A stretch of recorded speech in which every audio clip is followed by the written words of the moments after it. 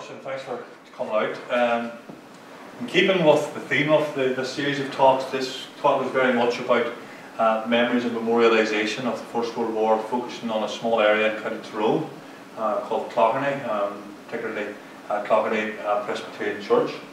Uh, it's based very much on stories and memories of older men that I knew when I was growing up in Tyrone, uh, very strongly it's based on stories that were handed down to me by my father, who hadn't served in the war, but his father had and his uncle had.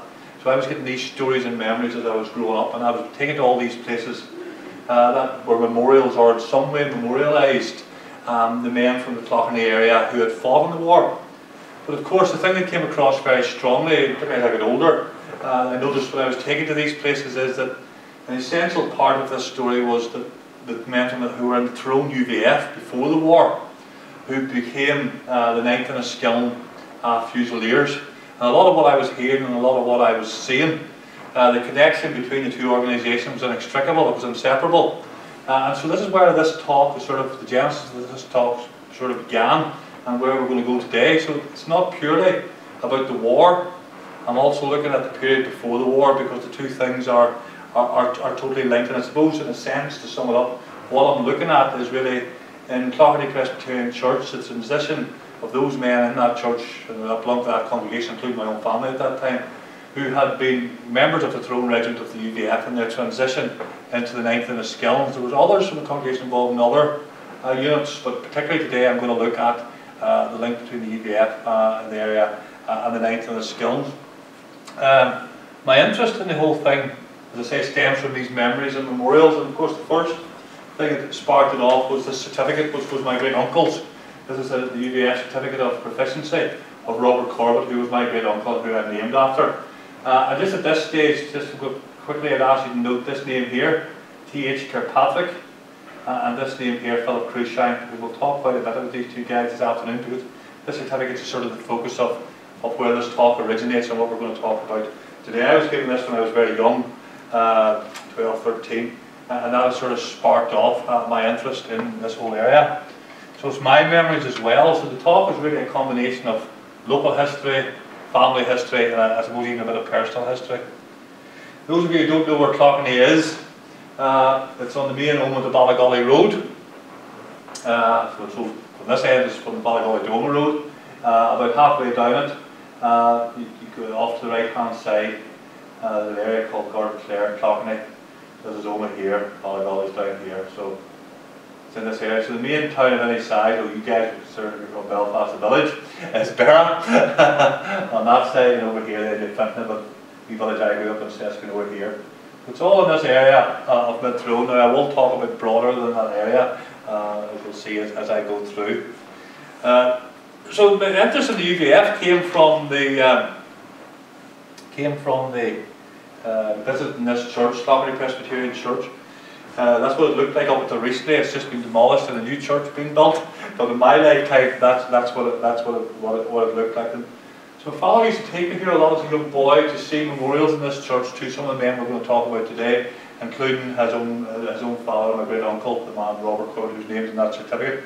And as I say, I was always very aware of the link um, between the old UVF uh, and the 9th Enniskillens. And even today I'll show as the talk goes on that you can't look at one without looking at the other. There's a very still today a very strong connection between the two in terms of people's stories about the events at that time, but also in terms of what's, what appears in the memorials and where the memorials uh, where the memorials appear. Now my father had a very good reason for being interested uh, in the First World War and this period because his mother was married twice. He was a product of her second marriage. Uh, and the reason why he came along was because of the war. Had it been for the war, he would have been her tell-off. Because her first husband was a man called Louis Mina. Uh, she had been born Catherine Anthony. Her first husband was Louis Mina. He had been a regular soldier and then a skills. He was on the reserve. He was a postman when the war breaks out. So he's away as soon as August 1914 when the war breaks out. He's called back up. He's still on the reserve. And he's killed at the Somme on the 1st of July 1916, and then she marries after the war. Uh, my grandfather, William John Corbett, who we'll see in a second, uh, who um, who uh, was also uh, at the war, but he was in had, was a civilian. He hadn't been in the army. He was in the 9th Service Battalion, one of the battalions formed under Kitchener's reform uh, to create a, a, large army for the war. That's Louis Anthony's uh, will that was written at the front, leaving all his earthly belongings to his wife. He didn't have very much to leave, I can assure you. And this was just a little tree that we put up in his memory because he's uh, uh, part of the commemoration events that were happening and well, we'd love trust recently. But this is my own grandfather, William John, who married Catherine Corbett to say she was from Mina. Uh, and this is where a lot of this research stems. So I had family reasons for being interested in this, and I other older men that I, when I was growing up who had served in the war wouldn't talk a lot, but would talk a little to me about it when I was growing up. Primarily, the things that they said were things like don't be obsessed with the Somme, think about Passchendaele as well. That one very much always stuck in my memory, and I think it was very prevalent last year. But the thing is, as I got older, as I started studying UVF at university and did a dissertation at UVF at university way back in the 80s, early 80s, was then was this conflict of loyalties that was taking place we've heard a lot of talk uh, about the conflict of loyalty within Catholic nationalist people backgrounds. But the same conflict of loyalty was taking place within unionism. Because before this, the photograph was taken on 21st of March 1914. In that particular weekend, it looked like the government was going to move uh, against the UVF in Ulster. The UVF saw it as the Ulster plot, the attempt by the government to coerce the UVF. This photograph was taken in uh, Omagh the very same weekend outside St Columba's Church. Along here you have members of the Enniskillens and members of the Bedfordshire Regiment. The Bedfordshire Regiment has actually been drafted in to Ulster that weekend in an attempt to regain control, I suppose, to a certain extent. And this is the UVF here. This photograph belies the tensions that existed at that time. It was Ulster at that stage of the British Civil War, I'm not sure. But certainly the signs didn't look, didn't look, didn't look good. The peacefulness of this photograph belies the tensions that were taking place at this time. I to this you know, famous sort of by a very prominent historian, David Miller, you know, this concept of the King's rebels here, the UVF, potentially maybe end up being involved in conflict with the, the army, uh, then joining up uh, uh, to the King's colours as part of the, the Ninth Enniskillens, and that belies uh, the whole the, the, whole sort of story. So what I really want to do is use this certificate uh, to talk about uh, that transition of these men from Clogherney from the the UVF uh, area to become the, involved with the ninth Enniskillens. We'll talk about, about the development of the UVF there because I think that's very important for how things spanned out later. Uh, and look at how these men are commemorated in the area. So as I said, that is the gentleman who the certificate belongs to. Unfortunately, we have no photographs when he was young.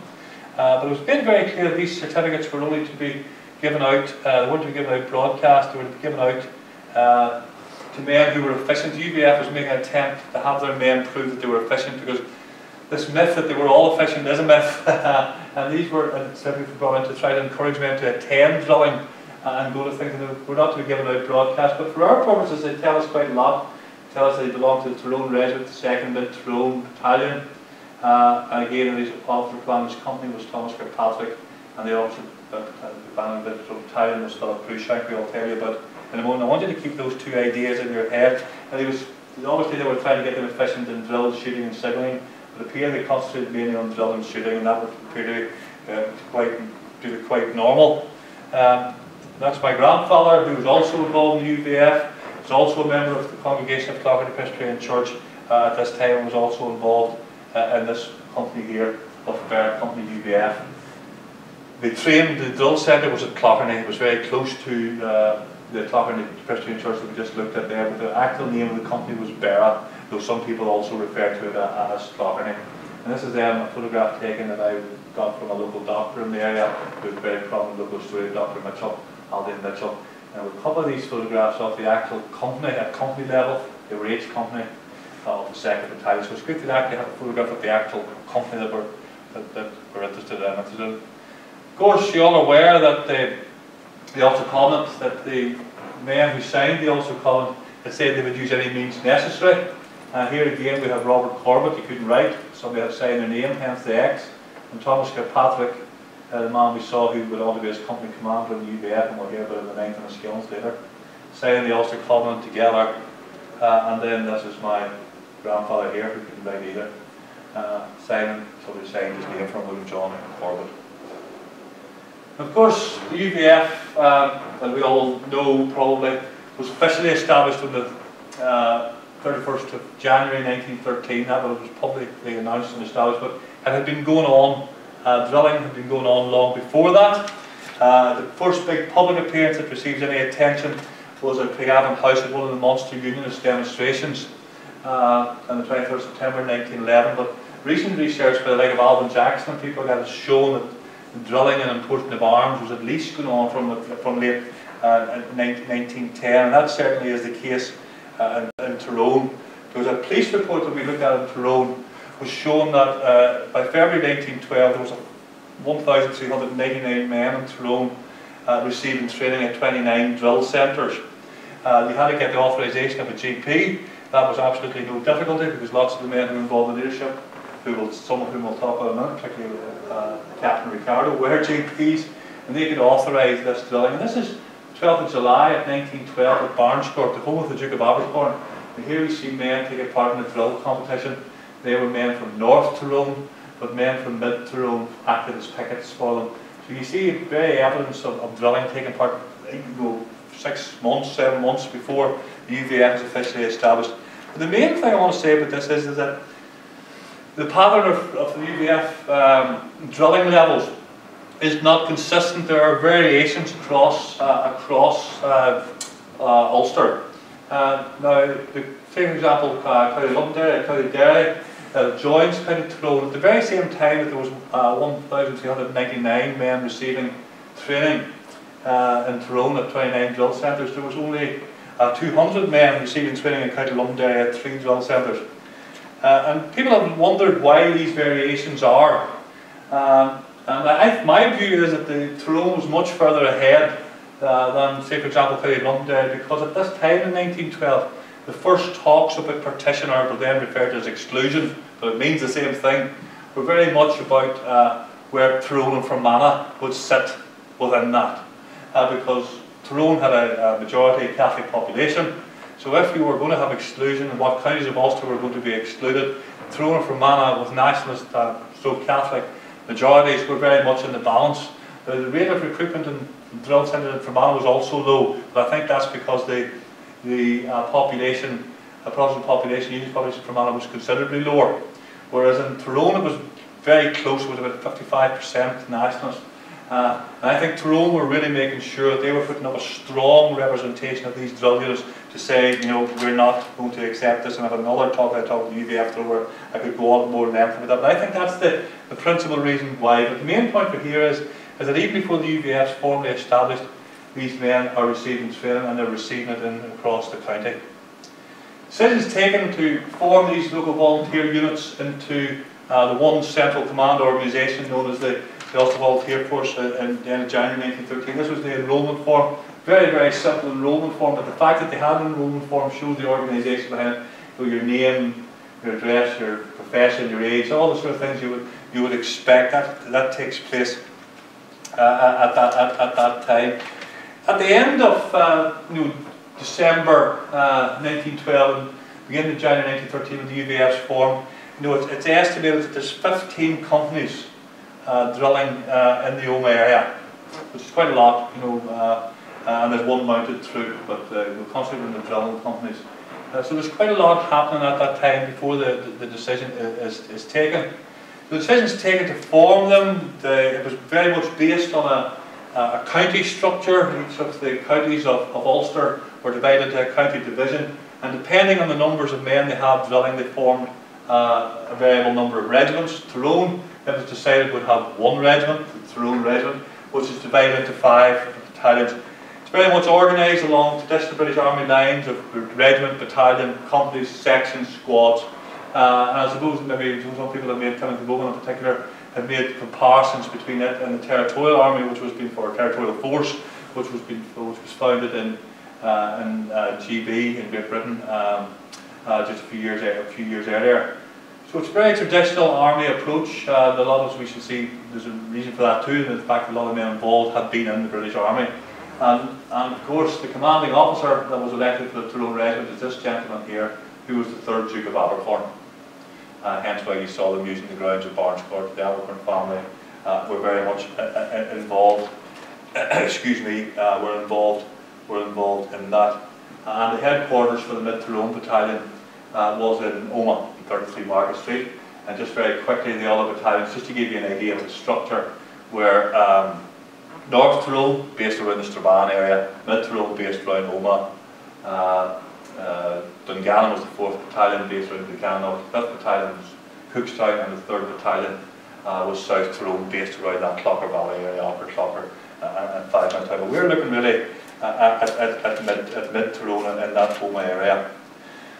So the Duke of Abercorn was the, the commanding officer of the whole organisation in Tyrone, but the main driving force behind the movement uh, was a guy called Captain Ambrose Ricardo. He was the county adjutant, he was involved for responsible, his full name was Captain Ambrose and Quintin Ricardo DSO. He was born in uh, England in 1866 uh, at Gatcombe, where, the, where Princess Anne lives uh, now. Uh, and he joined the army uh, in 1888 and became a captain in 1897. He was in the 2nd Battalion, Royal Enniskillen Fusiliers. Uh, and he served in uh, India and he served in the South African, Second South African Boer War. Uh, some people refer to that 1899 to 1902. And he received DSO uh, in 1900. And he is a very central figure to this story. He retires, as we shall see, he retires from the army in 1904. In 1893, and what brings him to Tyrone, is that he marries Elizabeth Alice, who was the second daughter of Emerson Tennant Herdman, who lived at Sion Mills, the Herdman family uh, that owned the, the famous Lemon mill there. And he becomes a director of the Lemon mill uh, after he retires from the army in, in 1904. And this man is, is, is, central to what we're really talking about here. As we'll see, he goes on to play a leading role uh, in the Ninth Enniskillens. But if we go back to the certificate that, that sort of motivates this talk, you'll remember I said that the, it was signed by the battalion commander, who was Philip Cruikshank, who later becomes Captain Philip Cruikshank, but we just referred to him as the top title, the Philip Cruikshank. Um, Cruikshank was appointed the commander of the 2nd Mid-Tyrone Battalion, the battalion that the Clogherney men belonged to. Uh, he's an interesting character too, uh, because he's not from here either. So we have an Englishman now, we have a Scotsman. Uh, he was a journalist. Uh, he was born uh, in, we think, uh, in Aberdeen in 1882, and he was a journalist by profession, and he was sometimes worked on the Aberdeen uh, Daily Journal. But in 1903, he comes across to Ulster to take up a job uh, with the Derry Standard, and then he moves to Omagh to be the editor of the Tyrone Constitution in 1905. And he immediately becomes very involved in things in the Omagh area. He sets up the Boys Brigade in the town. He's a member of the First Omagh Presbyterian Church, but he's also very much involved in unionist politics. Uh, he becomes a member of Omagh Through Blues Lodge and a member of the Masonic Lodge in Omagh. He stands for uh, the local council, the Omagh Urban District Council elections in 1908. He was unsuccessful, but whenever the Ulster Unionist uh, Council starts to reorganise itself with the eminence of the Third Home Rule Bill in 1912, he takes a very leading role in the organisation of the Ulster Unionist um, uh, organisation in the Omagh area. He's its secretary. Uh, he's very much involved in organising these local volunteer drill corps that I mentioned that there was 29 of. Uh, sorry, 29 drill centres and almost 1,400 men uh, receiving training in 1912. He's the secretary of that and he organises a huge visit of Sir Edward Carson uh, to Omagh in 1912. He's involved in organising the volunteers who went from Tyrone, who made such an impression at Craigavon in 1911, who made such an impression that some of the early histories, including Tony Stewart's book, basically says this is the beginnings of the UVF, but we now know that's, that, that's not the case. But there was a thousand men went from mid Tyrone to that demonstration uh, in Craigavon. And he was responsible, Cruikshank, for the organisation of the Ulster Covenant in the area. He was a born leader uh, and he uses journalistic skills to publish pamphlets uh, against Home Rule as well. This is a very influential man, much neglected in our area in Tyrone, starting to change that a bit. But you've got to remember that by January 1914, a year after the UVF was officially set up, he's responsible for over 1,600 men uh, in the UVF at that time. By that stage, the UVF is estimated over just over 8,000 men, and six, nearly 1,700 of them are in the, are in the mid-Tyrone area. And of course, this is the structure of what he was in charge of. Uh, this is the UVF Tyrone Regiment, 2nd Tyrone Battalion, focused on the Omagh area. And there we have him here, Philip Cruikshank, at Camp Road, Omagh, and as I say, he was a journalist. And below him then there was uh, 15 companies. One of which was the one I'm particularly interested in, uh, the Clogherney uh, company, which is up here. And here we have, from the certificate, the company commander of each company, Thomas H. Kirkpatrick.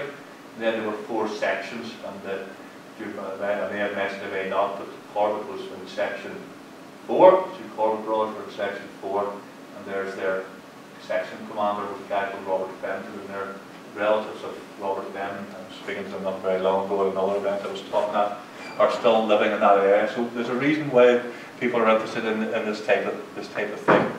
And this is Thomas uh, Kirkpatrick himself, and he was the the company commander uh, of the UVF uh, in the Beragh or Clogherney, Clogherney area. In 1911, we know he was 28, uh, and he was living with his two uncles on a farm uh, at Clogherney, which confusingly is also referred to as Devereux, but it's, it's, it's, the, it's the same place, it's one of these country things.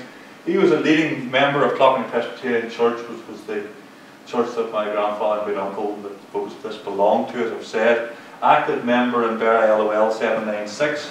And just note that he was a founder member of the Sons of David Royal Black Preceptory 405 because we'll see how important that is in terms of ongoing memorialisation uh, in a wee minute.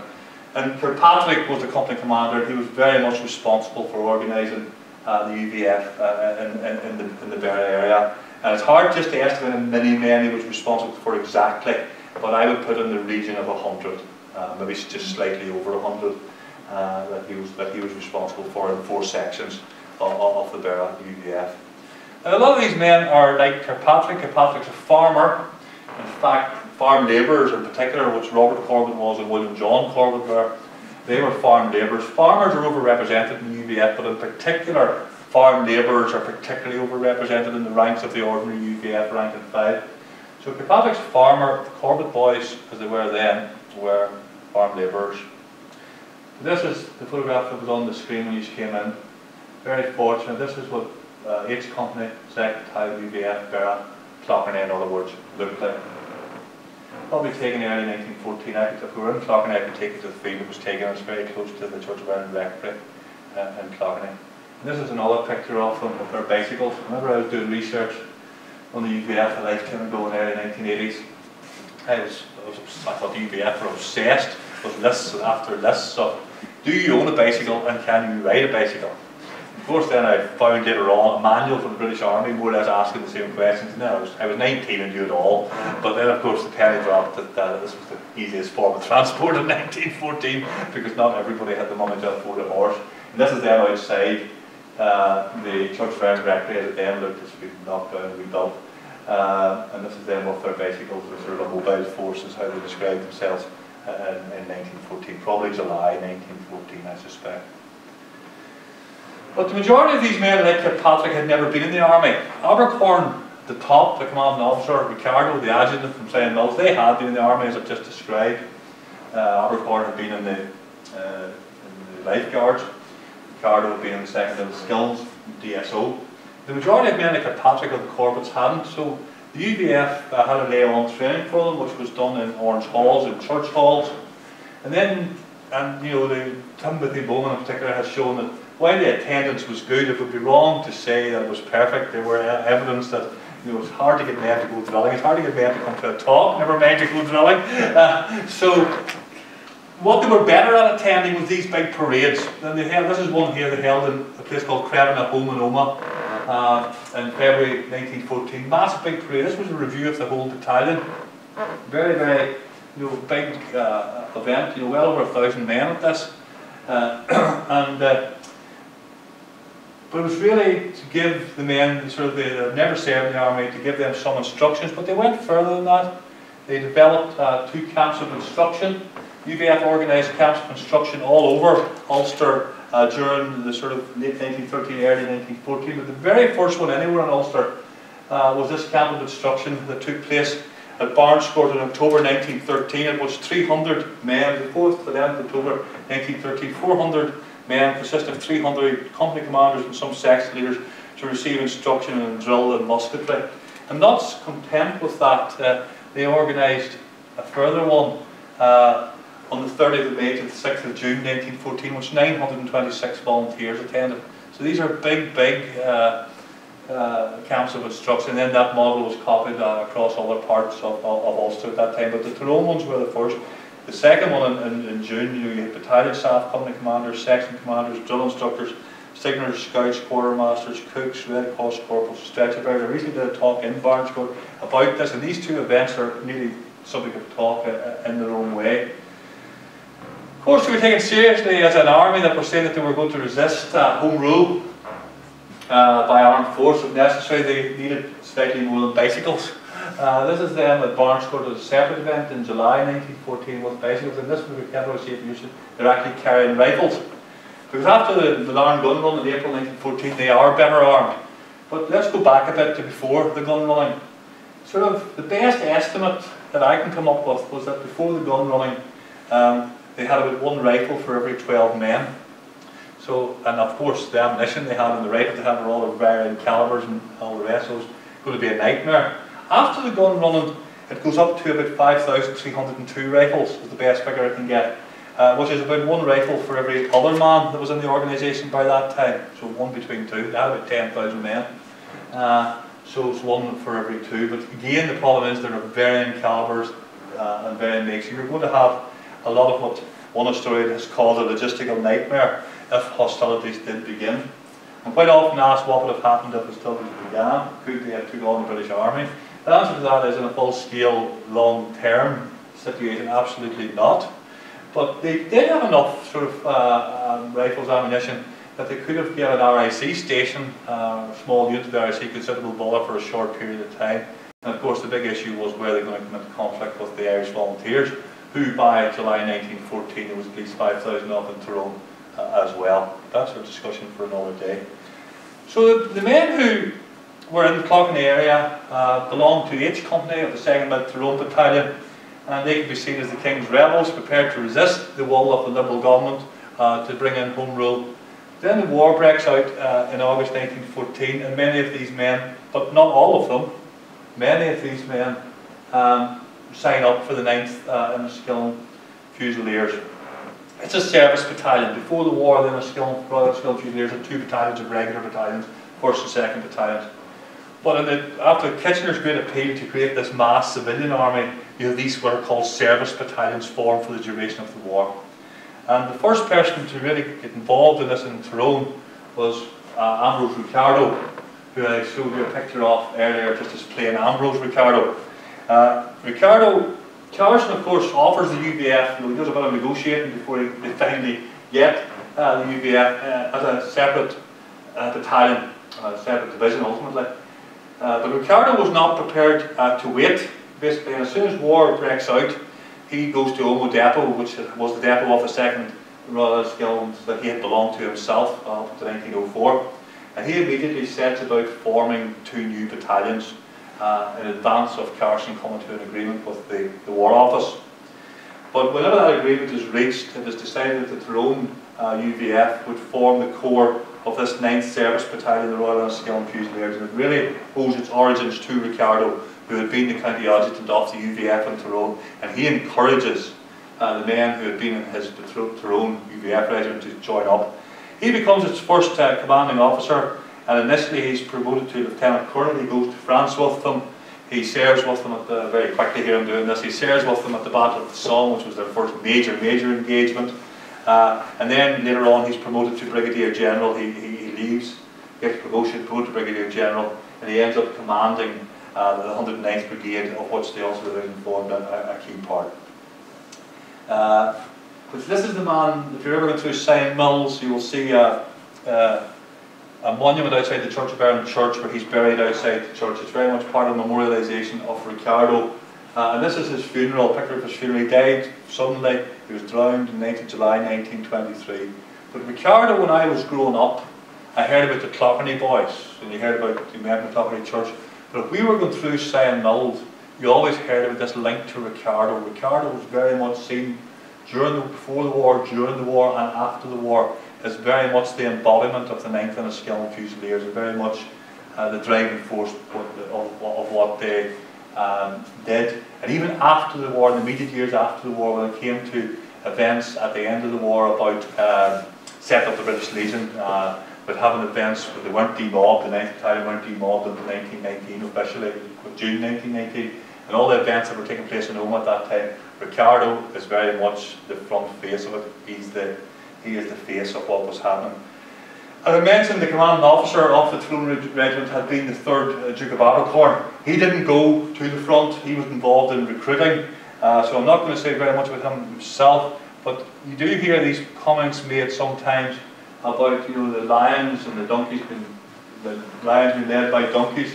Just be careful about those sorts of things. Uh, Abercorn was probably too old to go, but this is his brother, uh, Lord Arthur John Hamilton, who was a regular who was a regular soldier. He had served in the Irish Guards before the First World War uh, and was in the army and had come out, was in the reserve. But as soon as the war breaks out, he rejoined the Guards and he's killed near Ypres, uh, aged 30 on the 6th of November 1914. So although the Duke of Abercorn himself was too old, this brother uh, was killed serving. Another brother uh, served as well, Claude, uh, and he's highly decorated actually. Later on, he receives DSO. Uh, he survives the war and his sister was killed. Uh, she was Lady Phyllis. She was killed in RMS uh, Leinster when she was sank on the 10th of October uh, 1918. So although I'm concentrating very much here on, on the rank and file, um, you know, we need to also remember that those people high up in the society in Tyrone were also uh, taking part in the war and, and, making that sacrifice. But returning now back to the 36th Ulster Division where I want to go really, it's Lord Arthur Hamilton's uh, Commonwealth War Grade Certificate. Turn to 36 Ulster Division. One of the myths that I've sort of been trying to dispel, I know, I know this audience will be aware of it, but the number of people who think the 36 Ulster Division went to the front in 1914 is remarkably high. Of course, they didn't leave Belfast until May 1915, uh, and they don't go to France until later in, in 1915. But taking it back to Clogherney, uh, this is from the Roll of Honour that the Presbyterian Church compiled a really useful book uh, that they compiled after the war. And this is all the men from Clogherney who took part uh, in the First World War, served and were killed. Uh, I'm going to concentrate mainly this group here, I'm going to concentrate on. But you'll notice over here how many of them are ninth Enniskillen Fusiliers. Most of these men that I've been able to track were all in the UVF before the war. Uh, and so, excuse me, so there's 26 there altogether, and 17 out of them uh, served in the 9th Battalion of the Royal Enniskillen Fusiliers. Uh, and of course, here you've got the two corpses and stake there. Uh, George and William John, which just like all other sources, there's mistakes in them. And then that's the Robert Cornish UVF certificate I showed you earlier, which really begins of my interest in all this. And there is Kirkpatrick, who was the company commander. And that's Kirkpatrick I really want to turn to first here. Uh, that's what Clogherney Presbyterian Church looked like in 1902, uh, slightly different from the photograph I showed you of what it looked like in my time. This is the church that the Corbetts and the McKittricks uh, and the Kirkpatricks all belong to. So one of the first to recruit from the, to, be, to sign up from the uh, company of the UVF was their company commander, uh, Thomas Kirkpatrick, and he becomes very quickly becomes a sergeant, and then he's made a company, company sergeant major. And he set sort of the example of the rest of the, the unit uh, from Clogherney UVF uh, to follow. Uh, and very interesting because we've been able to trace bits and pieces about what they got up to. When I was very young, uh, one of the older men that I was friendly with, uh, who was at DCM, told me that the 9th Battalion of the uh, Enniskillens took part in the first raid of any significance that the Ulster Division undertook when they went to France. Uh, and uh, that was May 1916. So in other words, things were happening before the Somme. But he was quite proud of the fact that Tyrone men, particularly men from Clogherney, there men from other parts of Tyrone, had taken part in this first raid uh, by the 9th Battalion of the Enniskillens and therefore for the Ulster Division as a whole. Now, I always treated it with a wee bit of scepticism, even though I knew he had uh, DCM and that he was awarded roughly around this time, but I always kept note of. Working on the Nugent papers here when I was an archivist and also work done by uh, Nick Perry on the Nugent's correspondence, I have now confirmed that, that that story of their memories is correct because the first significant attack by the Ulster Division took place on the 8th of May 1916, not on the scale of the Somme, but the first significant engagement, you know, when I note, was on the 8th of May 1916, uh, out of which ultimately nine were killed and 22 were wounded. And of course, one of the people wounded was their company sergeant major Kirkpatrick from Clogherney. Hence why it was so much in the memories of these old men uh, uh, that I knew. And I also then established that another man who's in that Clogherney Roll of Honour uh, called William David Watson was also killed on the same night. So the stories that they told me were correct. I was able to verify very strong. They didn't talk a lot, but the bits that they told you, I was able to match up. Uh, and this is Kirkpatrick's grave, the Commonwealth War Cemetery in, in, in, France that we went that, we, that we, a couple of us went to visit last couple of years ago. Uh, and this is his also his colleague from Clogherney UVF in the night of the Skelms, W.D. Watson, son of Bella Watson, who was part, part of Clogherney Parish. So Kirkpatrick, the company commander of Clogherney, and W.D. Watson, we see them very clearly taking part in this first action. Uh, and then it goes on further in terms of memorialisation.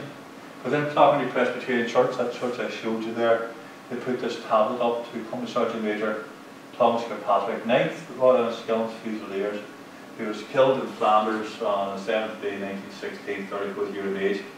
But these are the bits that I mentioned earlier, and the reason why this talks about the UVF and why I emphasise the Royal Black Preceptory. It was erected by the brethren and comrades of the Royal Black Preceptory and the Ulster Volunteer Force, 9th of the Skillings. So in the memorials there's a direct link between all these organisations and that's why this talks about the, the links, uh, the, links the links between them. And more than that, uh, he was, I told you earlier, he was a member of Beragh Orange Lodge, in 1932, they decided to build this building here, an Orange Hall, which was opened in 1933, and they called it the Kirkpatrick Memorial Hall, opened in 1933, in memory of him. Now, it's no longer an Orange Hall, a number of the local Orange Lodges have ceased to exist and have been amalgamated into one. But they took the, this building has now been sold, uh, it's no longer there, uh, it's going to be a new house probably built on it. Uh, but they took the plaque off the wall and they took it and put it in the, the orange hall that serves as the hall for these amalgamated orange lodges. Again, just to emphasise that this memorialisation still continues and how the links of it continue through. This is a relatively new banner that uh, Deveroy, Sons of David Royal Black Assembly 405, which Kirkpatrick founded. They unveiled a new banner a couple of years ago and they decided that on the front of it would go Thomas Kirkpatrick. Now, most Royal Black Preceptory banners only feature religious um, scenes, both on the front and back. Orange banners tend to have something to do with King Billy on the front and something to do with religion on the back, and they carry it the other way around. This is very significant for a black preceptory to have on the front, you know, uh, Kirkpatrick. It just shows the, the, the, extent of that link and the memories uh, uh, uh in the area. Talked a lot about Cruikshank, so I want just to talk a bit about his uh, service then. He was, as I say, the, the company commander, battalion commander of the Mid-Tyrone Battalion of the Tyrone before the war. He's a journalist at Tyrone Constitution, takes on that role, and he obviously leads the way uh, when Ricardo sets up or tries to set up these two uh, battalions. Uh, he leads in just over 100 men and to sign up uh, in Omagh Barracks uh, for this sort of embryonic uh, new battalions. He goes in as a private, but he very quickly uh, becomes a captain, uh, and he's killed at the Somme on the 4th of July 1916. And there's an, an, entry, obviously he's the editor of his own constitution, so whenever he's killed, they give him lots of coverage in the paper. I uh, just quickly read, well, they published a letter from an NCO in, his, in one of his companies about uh, his death. I'll just read it quickly. He got up close to the German wire, like the good soldier he was, rose up and waved his men on without him. He was one of the best men soldiers I ever met, and God rest his soul and help his mother to bear the trouble. I, I every, even now, I see him on the parade, I see him on his white horse. I think he was one of the finest men who ever glorified the King's uniform. There's no man, no man died a nobler death than our poor captain. So he was obviously very highly thought of uh, by his men. He has no known grave. He's on the Thiepval Memorial to the, to the missing uh, the song that's printed off just from the Commonwealth War Grave. We trying to increase awareness of who Cruikshank was because of the fact that he was a Scotsman, that his family has no family connections with Omagh anymore, his family connections with Scotland. Uh, he was decided to work in the Irish Standard in 1905. So we're trying to just do a bit of awareness work around him. Glad to say the man that started us all off that I was named after Uh, he survived the war, he was wounded a couple of times. Uh, my father always said he never saw him with his shirt off because he was machine gun across the middle. And he never ever, in the hottest day, ever saw him with a, with a shirt off. He always kept it covered. In terms of memor memorialising uh, these men from Clogherney, they decided that the way to do it, of course, wouldn't be Presbyterian Church, but didn't have a good argument but before they decided what they were going to do and to fight. Um, they decided that the best way to memorialise the men who served and were killed uh, was an, uh, an organ, uh, and this is the organ here. Uh, it was dedicated on Sunday the 9th of November 1919, and, and, all the men are listed there. There's William Corbett, Robert Corbett, uh, Patrick, and I need to go to the next particular. We, we screwed the we screwed the lamp off to get a better photograph. Uh, Patrick's there as well, I just can't see it just at the minute in alphabetical order. So there he is, Paul Thomas Kirkpatrick, along with three other men. The William Watson, who was killed the same night as Kirkpatrick died a few years later, of course, he was wounded that night, and Robert Rainey and John Rainey, who are very well known members of the congregation. In fact, one of their descendants is Alan Rainey, who sits on Omagh District Council still. That's Robert Rainey. Um, William John Rainey. It's other members of the congregation. One person maybe I should mention just in passing, uh, sometimes gets forgotten about, is the clergyman here, the Reverend J.M. Patterson. Uh, John Morrow, James Morrow Patterson. He, uh, excuse me, he came to Clogherney Church in 1905, and he was there till 1926. Uh, but uh, for six months in 1916, he got special leave of absence from the presbytery to go to serve for the YMCA in France. And that's a whole area that needs to be looked at. It's just all these people who went to serve for the YMCA, particularly clergymen. Uh, but what's interesting with him is when he was away from the from the congregation, there had to be another Presbyterian minister that appointed in charge, and the one appointed in charge was a certain W.F. Marshall, living in Drumlister fame from Six Mile Cross, who, to put it colloquially in Tyrone speak, was up to the UVF to his hoozle as well. So he was replaced by very much, uh, very much uh, one, one, one of his own.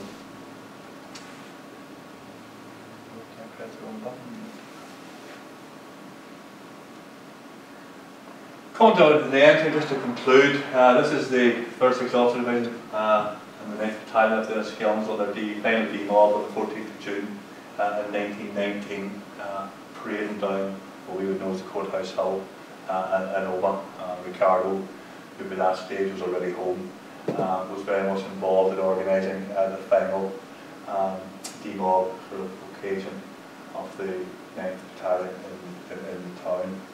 But I think what really ties what I've been trying to talk about together is two plaques uh, that still uh, are in St Columba's Church of Ireland Church in Omagh.